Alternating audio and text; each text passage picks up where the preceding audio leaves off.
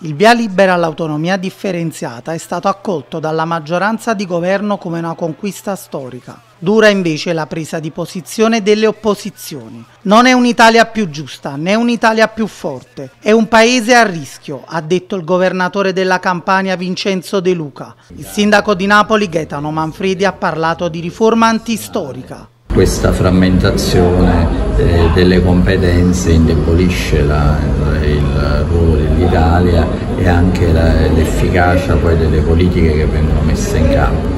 Io spero che ci sia un ripensamento e spero che, il, che alla fine prevalga il buon senso perché noi abbiamo bisogno di un paese unito che soprattutto guardi all'interesse nazionale in maniera unitaria. Molto importante che le opposizioni siano unite e che soprattutto costruiscano una base comune dal punto di vista programmatico. È fondamentale che ci sia anche nelle differenze, come è naturale che sia, anche nelle forze della maggioranza odierna ci sono delle differenze, però che ci siano dei punti programmatici comuni, che siano degli elementi diciamo, unitari e che in cui poi i cittadini si possono riconoscere nel momento in cui si presenta una nuova offerta elettorale.